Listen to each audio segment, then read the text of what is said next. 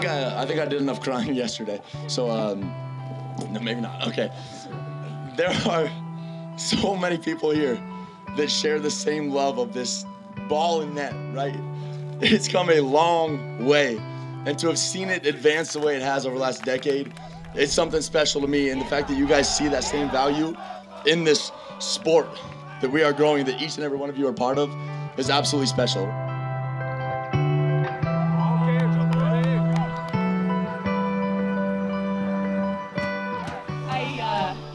Up today just watching women's round net and the community around that just celebrates women's round net. So I am so pumped. I'm happy to be here, but I'm really happy for women's round net today.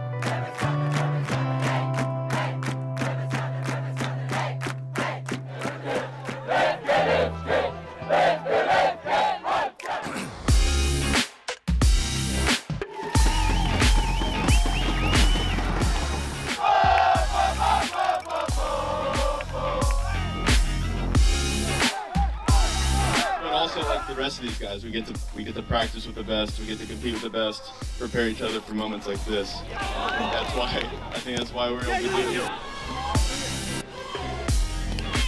it.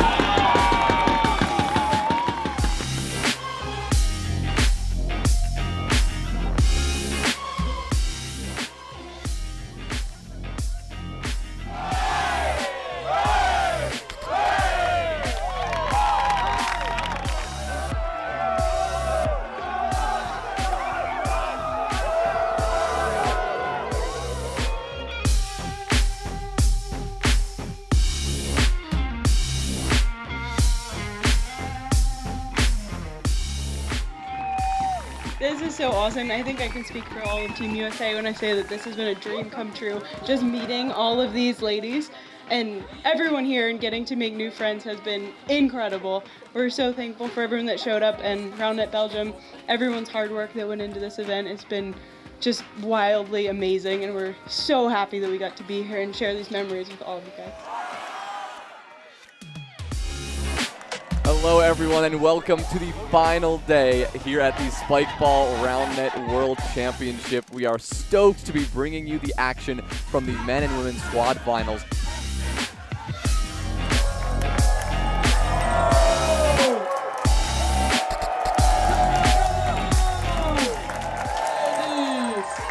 Come on!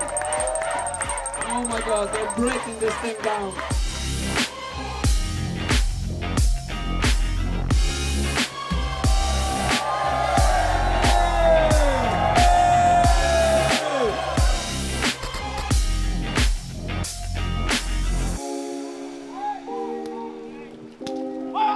Fought, boys. We did this thing. We're going home champions, and we look forward to the next one. And you guys are gonna bring it. We know you are. Keep bringing that energy, bring that intensity, and we look forward to fighting with you guys in a couple years again. Thank you for everything. So much love to everyone out there, and we'll see you again in a couple years. Let's do this thing.